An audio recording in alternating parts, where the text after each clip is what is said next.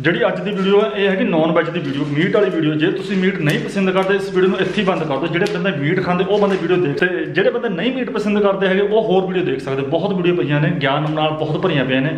ਤੇ ਆਪਾਂ ਵੀਡੀਓ ਸ਼ੁਰੂ ਕਰਦੇ ਤੇ ਬਣਾਉਂਦੇ ਆ ਮੋਟਰ ਦੇ ਵਿੱਚ ਇੱਕ ਸਾਦੇ ਤਰੀਕੇ ਦੇ ਨਾਲ ਚਿਕਨ ਕਿਸ ਤਰ੍ਹਾਂ ਬਣਾ ਸਕਦੇ ਆ ਠੀਕ ਹੈ ਤੇ ਨਿਰਮਲ ਸਿੰਘ ਸਾਡੇ ਨਾਲ ਹੈ। ਹੂੰ।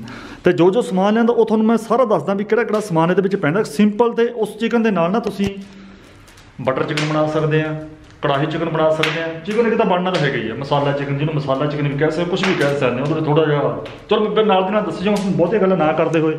ਤੇ ਹਾਂ ਉਹ ਅਸੀਂ ਆਪਣਾ ਪਹਿਲਾਂ ਭੱਠੀ ਚਲਾ ਲਈ ਕਿ ਜਿਹੜੀ ਹੁਣ ਸਾਡੇ ਆ ਰਸੋਈ ਆ ਰਸੋਈ ਦੇ ਵਿੱਚ ਹੁਣ ਆਪਣੀਆਂ ਇਹ ਜਿਹੜੀਆਂ ਚੀਜ਼ਾਂ ਬਣਨੀਆਂ ਸ਼ੁਰੂ ਹੋ ਜਾਣੀਆਂ। ਠੀਕ ਆ ਵੀ ਨਿਰਮਲ ਨਿਰਮਲ ਸਿੰਘ? ਤੇ ਜਿਹੜਾ ਜਿਹੜਾ ਸਮਾਨ ਲੈਂਦਾ ਉਹ ਤੁਹਾਨੂੰ ਦੱਸਦੇ ਆ 1 ਕਿਲੋ ਆਪਣੇ ਕੋਲ? ਮੀਟ। ਮੀਟ ਮੁਰਗਾ। ਮੁਰਗਾ 1 ਕਿਲੋ ਮੁਰਗਾ। ਤੇ ਅੱਧਾ ਕਿਲੋ ਪਿਆਜ਼ ਆ ਲਿਖੀ ਜਾਇਓ ਅੱਧਾ ਕਿਲੋ ਪਿਆਜ਼ ਅੱਧਾ ਕਿਲੋ ਟਮਾਟਰ। ਹਰਾ ਧਨੀਆ ਜੇ ਮਿਲ ਗਿਆ ਤੁਸੀਂ ਲੈ ਲਿਓ। ਹਰੀ ਮਿਰਚ ਇਹ ਜ਼ਿਆਦਾ ਲੈਂਦੀਆਂ ਨੇ ਤੇ ਇੱਕ ਦੋ ਜਿੰਨਾ ਤੁਸੀਂ ਤਿੱਖਾ ਕਰਨਾ ਚਾਹੁੰਦੇ ਉਹਨਾਂ ਪਾ ਸਕਦੇ ਆ। ਤੇ ਦੇਗੀ। ਮਿਰਚ ਇਹ ਜੇ ਤੁਹਾਡੇ ਕੋਲ ਹੋਵੇ ਤਾਂ ਪਾ ਲਓ ਨਹੀਂ ਇੰਨੀ ਜ਼ਰੂਰੀ ਨਹੀਂ ਹੈਗੀ। ਜਿਹੜੀ ਜਿਹੜੀ ਤੁਹਾਨੂੰ ਜ਼ਰੂਰੀ ਚੀਜ਼ਾਂ ਪਿਆਜ਼ ਟਮਾਟਰ ਇਹ ਤਾਂ ਹਰੀ ਇਹ ਚੀਜ਼ਾਂ ਜ਼ਰੂਰੀ ਆ। ਤੇ ਆਹ ਜਿਹੜੀ ਆਹ ਚੀਜ਼ਾਂ ਇਦਾਂ ਦੇ ਪੈਕਟ ਮਿਲ ਜਾਂਦੇ ਆ ਗਾਰਲਿਕ ਤੇ ਜਿੰਜਰ। ਜਿੰਜਰ ਤੇ ਗਾਰਲਿਕ ਦੇ ਇਦਾਂ ਦੇ ਪੈਕਟ ਮਿਲ ਜਾਂਦੇ ਆ। ਤੇ ਤੁਸੀਂ ਬਾਜ਼ਾਰ 'ਚ ਜੇ ਤੁਹਾਨੂੰ ਇਹ ਵੀ ਨਾ ਮਿਲੇ ਤਾਂ ਆਪਣੇ ਘਰ ਦੇ ਵਿੱਚ ਹੁੰਦੇ ਹੀ ਆ। ਅਦਰਕ ਲਸਣ ਉਹ ਤੁਸੀਂ ਉਹਦੀ ਪੇਸਟ ਬਣਾ ਸਕਦੇ ਆ। ਹਲਦੀ। ਗਰਮ ਮਸਾਲਾ ਤੇ ਸਰੋਂ ਦਾ ਤੇਲ। ਤੁਸੀਂ ਇਹਦੀ ਜਗ੍ਹਾ ਕੋਈ ਕੁਕਿੰਗ ਆਇਲ ਵੀ ਯੂਜ਼ ਕਰ ਸਕਦੇ ਜਿੱਦਾਂ ਰਿਫਾਈਨਡ ਆਇਲ ਹੋਵੇ। ਲੂਣ ਵੀ ਦਿਖਾ ਦਈਏ। ਲੂਣ ਤਾਂ ਮੈਂਟੈਂਟਰੀ ਆ ਕਿ ਕਹਿੰਦੇ ਹੁੰਦੇ ਇਹ ਜ਼ਰੂਰੀ ਆ ਇਹ। ਠੀਕ ਹੈ ਜੀ? ਤੇ ਥੋੜੀ ਜਿਹੀ ਸਾਡੀ ਆਵਾਜ਼ ਕਮਰੇ ਦੇ ਵਿੱਚ ਇਕੋ ਕਰਦੀ ਹੋਣੀ। ਜੇ ਤੁਹਾਨੂੰ ਨਾ ਕੁਝ ਪਤਾ ਲੱਗਣਾ ਤੁਸੀਂ ਕਮੈਂਟ ਕਰ ਦੇਣਾ ਅਸੀਂ ਤੁਹਾਨੂੰ ਅਸੀਂ ਦੱਸਾਂਗੇ। ਸਰਲ ਤਰੀਕੇ ਦੇ ਨਾਲ ਚਿਕਨ ਮੋਟਰ ਨੂੰ ਕਿਸ ਤਰ੍ਹਾਂ ਬਣਾ ਸਕਦੇ ਹਾਂ। ਫਿਰ ਸ਼ੁਰੂ ਆਪਾਂ। ਹਾਂ ਜੀ ਹਾਂ ਸ਼ੁਰੂ ਕਰੋ। ਸ਼ੁਰੂ ਤਾਂ ਹੋਈ ਹੋਈ ਹੈ ਵੈਸੇ। ਹੈ ਹੁਣ ਕਟਿੰਗ ਕਰਦੇ ਹਾਂ। ਹਾਂ। ਲਓ ਜੀ ਤੁਹਾਡੇ ਦਰਮਿਆਨ ਮਾਸਟਰ ਸ਼ੇਫ ਨਰਮਲ ਸਿੰਘ। ਪਹਿਲਾਂ ਪਿਆਜ਼ ਕੱਟੀਏ। ਫਿਰ ਦੱਸਦਾ ਤਾਂ ਮੇਰੀ ਇਹ ਅੱਧਾ ਕਿਲੋ ਪਿਆਜ਼ ਹੈ ਇੰਨਾ ਕੁ ਪੈ ਜਾਂਦਾ ਇਹਦੇ ਵਿੱਚ। ਥੋੜਾ ਜਿਹਾ ਘੱਟ ਪੈਂਦਾ ਪਿਆਜ਼। ਵੈਸੇ ਇੱਕ ਤੁਹਾਨੂੰ ਹੋਰ ਚੀਜ਼ ਦੱਸ ਦਿੰਦਾ ਮੈਂ। ਕਈ ਵਾਰ ਆਪਣੇ ਕੋਲ ਪਿਆਜ਼ ਜ਼ਿਆਦਾ ਹੁੰਦੇ ਆ। ਜਦੋਂ ਆਪਾਂ ਚਿਕਨ ਬਣਾਉਂਦੇ ਆ ਕੁਝ ਲੋਕ ਪਿਆਜ਼ ਜ਼ਿਆਦਾ ਪਾ ਲੈਂਦੇ ਆ। ਜਾਂ ਟਮਾਟਰ ਜ਼ਿਆਦਾ ਹੁੰਦੇ ਆ, ਉਹ ਜ਼ਿਆਦਾ ਪਾ ਲੈਂਦੇ। ਜਿੰਨਾ ਤੁਹਾਨੂੰ ਸਮਾਨ ਸਭ ਉਹਨਾਂ ਨਾਲ ਪਾਇਆ ਤਾਂ ਚਿਕਨ ਤੁਹਾਡਾ ਇੱਕ ਨੰਬਰ ਬਣੂਗਾ ਜੇ ਤੁਸੀਂ ਜੇ ਤੁਸੀਂ ਪਿਆਜ਼ ਜ਼ਿਆਦਾ ਪਾ ਲਿਆ ਥੋੜਾ ਚਿਕਨ ਮਿੱਠਾ ਮਿੱਠਾ ਜਿਹਾ ਬਣ ਜਾਣਾ। ਜੇ ਤੁਸੀਂ ਟਮਾਟਰ ਜ਼ਿਆਦਾ ਪਾ ਲਿਆ, ਖੱਟਾ ਖੱਟਾ ਜਿਹਾ ਬਣ ਜਾਣਾ। ਆ ਇੱਕ ਇੱਕ ਨਾਪ ਜਿਹਾ ਦੱਸਿਆ ਤੁਹਾਨੂੰ ਮੈਂ ਕਿ 1 ਕਿਲੋ ਚਿਕਨ ਵਾਸਤੇ ਅੱਧਾ ਕਿਲੋ ਟਮਾਟਰ ਤੇ ਅੱਧਾ ਕਿਲੋ ਪਿਆਜ਼। ਇਹਦੀ ਗ੍ਰੇਵੀ ਜਿਹੜੀ ਬਣਦੀ ਆ, ਉਹ ਬਹੁਤ ਵਧੀਆ ਟੇਸਟੀ ਬਣਦੀ ਹੈ ਲੋ ਜੀ, ਆਪਾਂ ਛੱਡਦੇ ਹਾਂ ਇਹ। ਕੋਈ ਵੀ ਚੀਜ਼ ਜ਼ਿਆਦਾ ਨਹੀਂ ਪਾਉਣੀ ਹੈਗੀ। ਇੱਕੋ ਜਿਹੀ ਤੁਹਾਨੂੰ ਮੈਂ ਦੱਸੀਆਂ ਚੀਜ਼ਾਂ। ਦੇਖਦੇ ਰਹੋ, ਤਾਂ ਹੀ ਤੁਹਾਨੂੰ ਪਤਾ ਲੱਗਣਾ। ਵੀਡੀਓ ਐਂਡ ਤੱਕ ਦੇਖੋ, ਤੁਹਾਨੂੰ ਤਾਂ ਪਤਾ ਲੱਗਣਾ। ਸਾਰੀ ਚੀਜ਼ਾਂ ਦਾ। ਠੀਕ ਹੈ ਨਿਰਮਲ ਸਿੰਘ ਹਾਂ ਜੀ, ਹਾਂ। ਕਿਲੋ ਮੀਟ ਜੇ ਤੂੰ ਇਹ ਕਿਲੋ ਪਾ ਦੇ ਫੇ ਕੰਮ ਖਰਾਬ ਹੋ ਜਾਣਾ। ਲੈ ਭਾਈ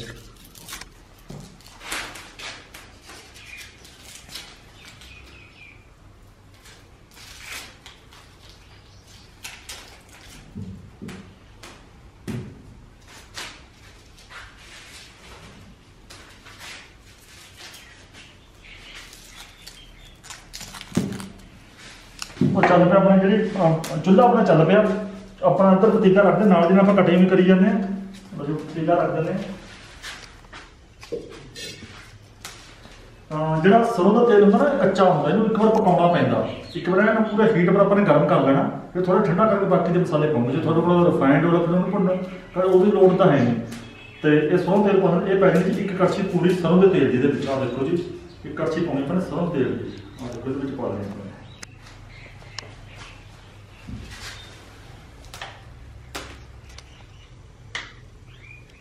ਆਪਾਂ ਨੇ ਇੱਕ ਕੜਛੀ ਸਰੋਂ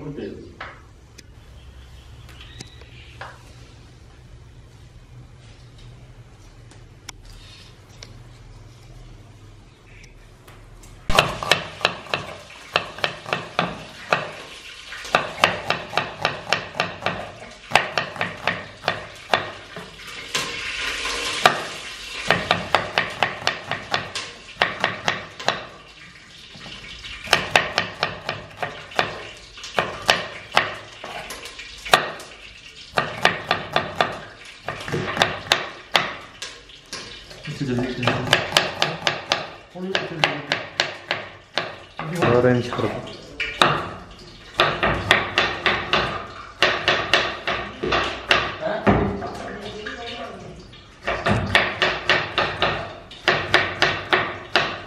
ਲੋ ਜੀ ਮੈਂ ਪਿਆਜ਼ ਕੱਟ ਲਿਆ। ਇਹ ਜਿਹਾ ਆਪਾਂ ਨੇ ਪਿਆਜ਼ ਕੱਟਣਾ। ਜ਼ਿਆਦਾ ਮੋਟਾ ਨਾ ਕੱਟ ਲਿਓ ਉਹਨਾਂ ਆਪਾਂ ਨੂੰ ਜਿਹੜਾ ਭੁੰਨਣ ਵਾਸਤੇ ਟਾਈਮ ਲੱਗਣਾ ਫਿਰ ਇਹਨੂੰ। ਠੀਕ ਇੰਨਾ ਬਰੀਕ ਤੁਸੀਂ ਪਿਆਜ਼ ਕੱਟ ਲੈਣੇ ਆਪ ਬਰੀਕ ਕਟਿੰਗ ਕਰ ਕਟਿੰਗ ਕਰ ਲੈਣੀ। ਲਓ ਜਿੱਧਰੋਂ ਆਪਣਾ ਤੇਲ ਵੀ ਭੁੱਲ ਹੋ ਚੁੱਕਿਆ ਚੰਗੀ ਤਰ੍ਹਾਂ ਗਰਮ ਹੋ ਚੁੱਕਿਆ ਤੇਲ, ਠੀਕ ਹੈ ਜੀ? ਤੇਲ ਹੈ ਪੂਰਾ ਗਰਮ ਹੋ ਚੁੱਕਿਆ, ਦੇਖੋ। ਤੇ ਤੇਲ ਇਹ ਹੁਣ ਪੱਕ ਚੁੱਕਿਆ, ਠੀਕ ਹੈ ਜੀ? ਤੇ ਹੁਣ ਆਪਾਂ ਇਹਦੇ ਵਿੱਚ ਪਾ ਦਾਂਗੇ ਜੀਰਾ। ਤਾਂ ਇੱਕ ਚਮਚਾ ਜੀਰੇ ਦਾ। ਇਹ ਪਾਤਾ ਆਪਾਂ ਨੇ। ਇੱਕ ਤੇਲ ਬਹੁਤ ਜ਼ਿਆਦਾ ਗਰਮ ਹੈ। ਤੇ ਨਾਲ ਦੀ ਨਾਲੇ ਆਪਾਂ ਨੇ ਪਿਆਜ਼ ਪਾ ਦੇਣਾ ਵਿੱਚ। ਠੀਕ ਹੈ ਜੀ? ਜਦੋਂ ਲੰਬਾ ਟਾਈਮ ਨਹੀਂ ਲਾਉਣਾ ਕਿ ਤੇਲ ਇਸ ਟਾਈਮ ਬਹੁਤ ਜ਼ਿਆਦਾ ਗਰਮ ਹੁੰਦਾ ਆਪਣਾ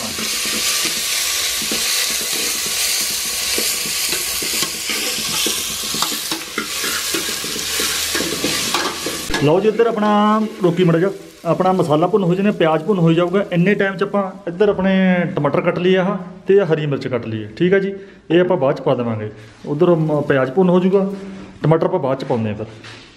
ਮੈਂ ਕੜਛੀ ਮਾਰੀ ਜਾਈ ਫਿਰ ਹੈਂ? ਹਾਂ ਭਾਈ ਲੈ ਆਪਾਂ ਟਮਾਟਰ ਕੱਟ ਲਈਏ।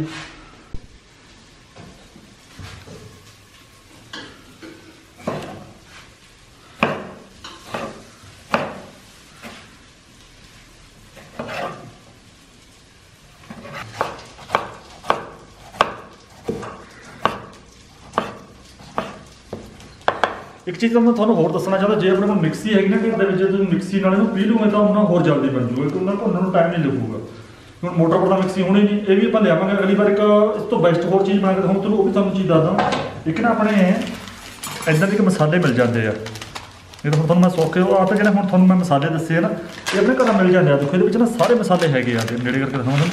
ਆ ਦੇਖੋ ਇਹਦੇ ਵਿੱਚ। ਤੁਸੀਂ ਇਹ ਪਾ ਕੇ ਬਣਾਉਂਗੇ ਨਾ, ਆਹ ਇਦਾਂ ਦੀ ਇੱਕ ਪੂੜੀ ਮਿਲ ਜਾਂਦੀ, ਉਹਦੇ ਵਿੱਚ ਸਾਰੇ ਮਸਾਲੇ ਹੁੰਦੇ ਆ। ਇਹ ਹੁਣ ਮੈਂ ਤੁਹਾਨੂੰ ਅਗਲੀ ਵਾਰ ਬਣਾ ਕੇ ਦਿਖਾਉਂਗਾ ਇਹਦੇ ਨਾਲ। ਅਗਲੀ ਵਾਰ ਕੋਈ ਬਟਰ ਚਿਕਨ ਜਾਂ ਕੜਾਹੀ ਚਿਕਨ ਬਣਾਉਂਗਾ, ਫਿਰ ਤੁਹਾਨੂੰ ਬਣਾਉਂਗਾ। ਇਹ ਚੀਜ਼ਾਂ ਪਾਵਾਂਗੇ। ਵਾਹ ਵਾਹ, ਇਹਦੇ ਨਾਲ ਫਿਰ ਹੋਰ ਵੀ ਵਧੀਆ ਫਲੇਵਰ ਆਉਂਦਾ, ਇੱਕ ਨੰਬਰ ਇਹਦਾ ਮਸਾਲਿਆਂ ਦੀ ਖੁਸ਼ਬੂ ਬਹੁਤ ਸੋਹਣੀ ਆਉਂਦੀ ਫਿਰ। ਇਹਦਾ, ਇਹ ਮੈਂ ਉਹ ਬੇਸਿਕ ਮਸਾਲੇ ਯੂਜ਼ ਕਰ ਲੱਗਾ ਜਿਹੜੇ ਆਪਣੇ ਘਰ ਦੇ ਵਿੱਚ ਆਮ ਮਿਲ ਜਾਂਦੇ ਆ, ਵੀ ਇਹ ਤੁਹਾਨੂੰ ਈਜ਼ੀਲੀ ਮਿਲ ਜਾਂਦੇ ਆਪਣੇ ਘਰ ਦੀ ਰਸੋਈ ਵਿੱਚ ਹੁੰਦੇ ਮਸਾਲੇ। ਜੇ ਹੁਣ ਤੁਹਾਨੂੰ ਆਹ ਚੀਜ਼ਾਂ ਫਿਰ ਇਹ ਜਿਹੇ ਬਾਜ਼ਾਰੋਂ ਲੈ ਕੇ ਆਉਣੀਆਂ ਪੈਣੀਆਂ ਠੀਕ ਆ? ਦੇਗੀ ਮਿਰਚ ਵੀ ਤੁਹਾਨੂੰ ਕਿਹਾ ਇਹ ਦੇਗੀ ਮਿਰਚ ਦਾ ਇਹ ਕੰਮ ਜਿਹੜਾ ਆਪਣਾ ਚਿਕਨ ਬਣਾਉਂਦੇ ਨਾ ਆਪਾਂ ਤੇ ਉਹਦਾ ਰੰਗ ਲਾਲ ਲਾਲ ਜਿਹਾ ਤੁਸੀਂ ਹੋਟਲਾਂ ਦੇ ਵਿੱਚ ਜਾਂ ਵਿਆਹ ਸ਼ਾਦੀਆਂ ਵਿੱਚ ਖਾਂਦੇ ਉਦਾਂ ਇਹਦਾ ਰੰਗ ਲਾਲ ਜਿਹਾ ਕਰ ਦਿੰਦਾ ਗ੍ਰੀਨ ਦਾ ਕਲਰ ਨਾ ਕਲਰ ਕਲਰਿੰਗ ਕਰ ਦਿੰਦਾ ਹੈ ਬਸ ਬਹੁਤ ਸੋਹਣੀ।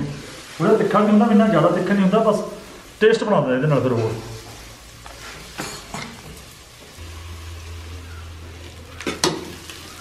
ਪਤਾ ਨੂੰ ਪਾਉਣਾ ਹਲੇ ਇਦਾਂ ਜਦੋਂ ਪਿਆਜ਼ ਭੁੰਨਦੇ ਨੇ, ਆਪਾਂ ਇੱਕ ਚਮਚਾ ਨਮਕ ਦਾ ਪਾ ਦੇਣਾ, ਇਹਦੇ ਨਾਲ ਆਪਣਾ ਪਿਆਜ਼ ਛੇਤੀ ਗਲ ਜਾਂਦਾ ਫਿਰ।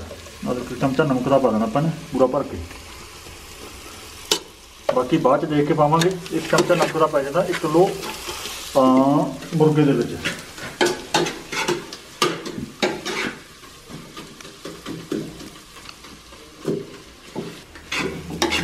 ਜਦੋਂ ਆਪਣਾ ਇਦਾਂ ਦਾ ਪਿਆਜ਼ ਹੋ ਜਾਵੇ ਜਾਂ ਭੁੰਨ ਹੋ ਜਾਵੇ, ਆਪਣਾ ਬਰਾਊਨ ਜਿਹਾ ਹੋ ਜਾਵੇ, ਫਿਰ ਆਪਾਂ ਇਹਦੇ ਵਿੱਚ ਹਲਦੀ ਪਾ ਦੇਣੀ ਚਮਚਾ। ਲਓ ਜੀ ਇੱਕ ਚਮਚਾ ਹਲਦੀ ਦਾ ਪਾਤਾ ਆਪਾਂ ਨੇ ਪੂਰਾ ਭਰ ਕੇ ਆ ਦੇਖੋ, ਇੰਨਾ ਹਲਦੀ ਦਾ ਭਰ ਕੇ ਪਾ ਦੇਣਾ ਹੈ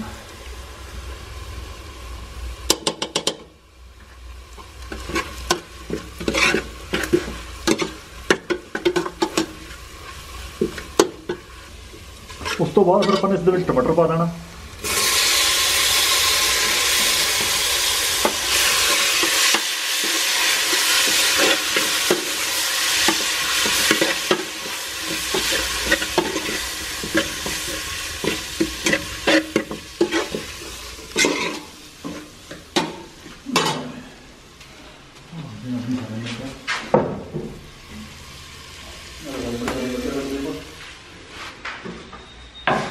ਲਓ ਜੀ ਹਰੀਆਂ ਮਿਰਚਾਂ ਕੱਢਦੀ ਫਿਰ ਆਪਾਂ।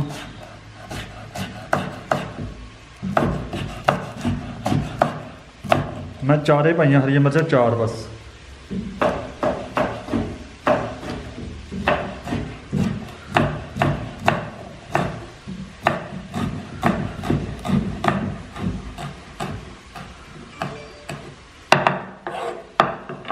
ਇੱਕ ਪੂੜੀ ਆਪਾਂ ਨੇ ਇਹਦੀ ਪਾ ਦੇਣੀ ਪੂਰੀ, ਵੀ ਇਹ ਸਮਝ ਲਓ ਵੀ 2.5 ਜਾਂ 3 ਚਮਚੇ ਹੋਣੇ ਇਹਦੇ ਵਿੱਚ 250 ਗ੍ਰਾਮ 25 ਗ੍ਰਾਮ ਹੈ ਦੇਖ ਲਓ ਹੁਣ ਤੁਸੀਂ। ਇੰਨਾ ਕੁ ਆਪਾਂ ਇਹ ਪਾ ਦੇਣੀ ਵਿੱਚ। ਅਦਰਕ ਲਸਣ ਟੇਸਟ ਆ ਜੇ ਨਾ ਹੋਵੇ ਤਾਂ ਜਦੋਂ ਮੈਂ ਪਹਿਲਾਂ ਦੱਸਿਆ, ਆਪਣਾ ਘਰੇ ਤੁਸੀਂ ਕਰ ਲਿਓ ਤਿਆਰ ਇਹ। ਘਰ ਵੀ ਹੋ ਸਕਦਾ ਆਪਣਾ ਕੁੰਡੀ ਛੋਟੇ ਚ ਕਰ ਲਿਓ ਜਾਂ ਮਿਕਸੀ ਚ ਕਰ ਲਿਓ। ਦੋ ਜਾਂ ਢਾਈ ਕੁ ਚਮਚੇ ਹੋਣੇ ਆ ਜੀ। ਮੈਂ ਇੰਨਾ ਕੁ ਇਹ ਪਾ ਦਿਓ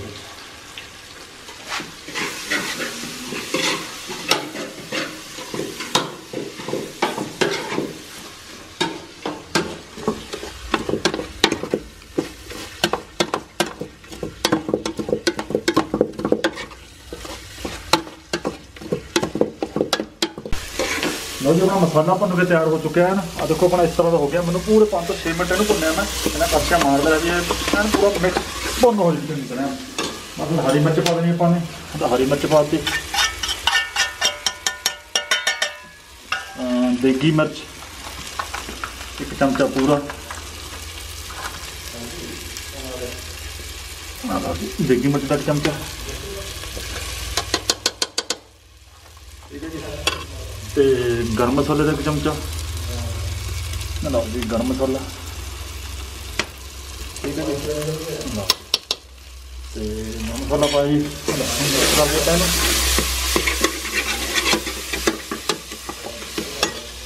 ਇਹ ਅੱਧਾ ਲੀਟਰ ਪਾਣੀ। ਇਹਦੇ ਵਿੱਚ ਅੱਧਾ ਲੀਟਰ ਪਾਣੀ ਪਾ ਦਿੱਤਾ ਆਪਾਂ ਨੇ ਆ ਲਓ ਜੀ। ਹੁਣ ਇਹਨੂੰ ਉਬਾਲੀ ਆ ਜੂ ਇੱਕ ਵਾਰੀ ਗਰਮ ਹੋ ਗਿਆ, ਫਿਰ ਆਪਾਂ ਇਹਦੇ ਵਿੱਚ ਚਿਕਨ ਪਾ ਦੇਣਾ।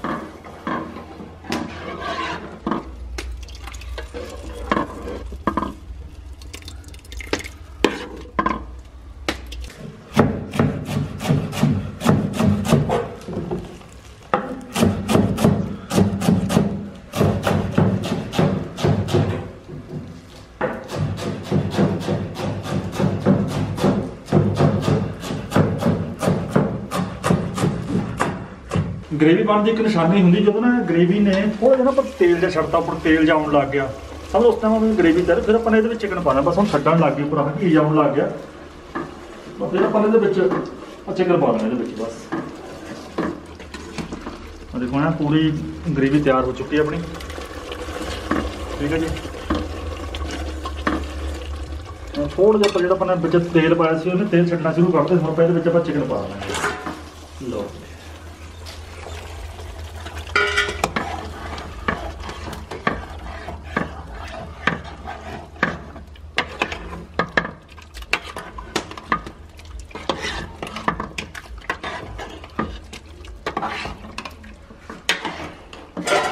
ਲਓ ਜੀ, ਹੁਣ ਮੈਨੂੰ ਪੂਰੇ 5 ਮਿੰਟ ਹੋ ਚੁੱਕੇ ਆ ਤੇ ਇੱਕ ਵਾਰੀ ਕੜਛੀ ਮਾਰ ਦਵਾਂਗੇ ਇਸ ਦੇ ਵਿੱਚ।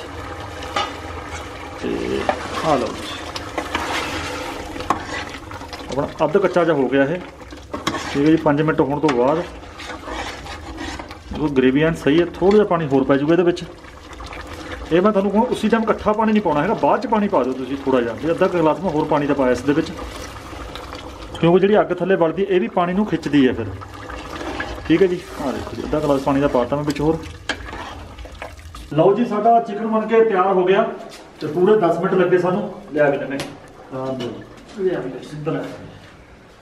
ਆਹ ਵਾਓ ਕੀ ਖੁਸ਼ਬੂ ਆ ਰਹੀ ਹੈ। ਬਾਸ਼ਨਾ ਆਉਂਦੀ ਹੈ ਭਾਈ ਲਓ ਜੀ ਹੁਣ ਆਪਾਂ ਮੁਰ- ਮੁਰਗਾ ਰਿੱਝ ਕੇ ਹੋ ਗਿਆ ਤਿਆਰ। ਮੁਰਗਾ ਕੇ ਤਿਆਰ ਹੋ ਧਨੀਆ ਮਾਰਨਾ ਆਪਾਂ ਨੇ। ਓਏ ਹੋਏ ਹੋਏ ਧਨੀਆ ਪਾਤਾ ਆਪਣੇ ਵਿੱਚ ਬਈ।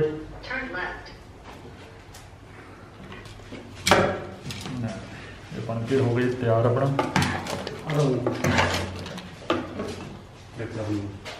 ਲੈ ਪਲੇਟਾਂ ਵੀ ਆ ਗਈਆਂ, ਪਲੇਟ 'ਚ ਪਾ ਕੇ, ਇਹ ਇਦਾਂ ਇਹ ਆਹ ਜਿਹੜੇ ਚ ਕੰਮ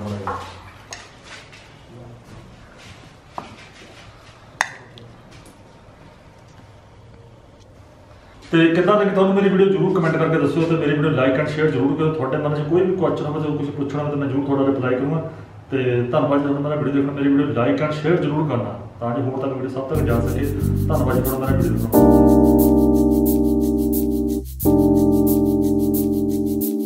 ਸਾਡੇ ਆਪਣੇ ਘਰ ਦੇ ਵਿੱਚ ਤੁਸੀਂ ਚਿਕਨ ਬਣਾ ਸਕਦੇ ਆ ਠੀਕ? ਨਾ ਪਤਾ ਕਰੀ ਜਾ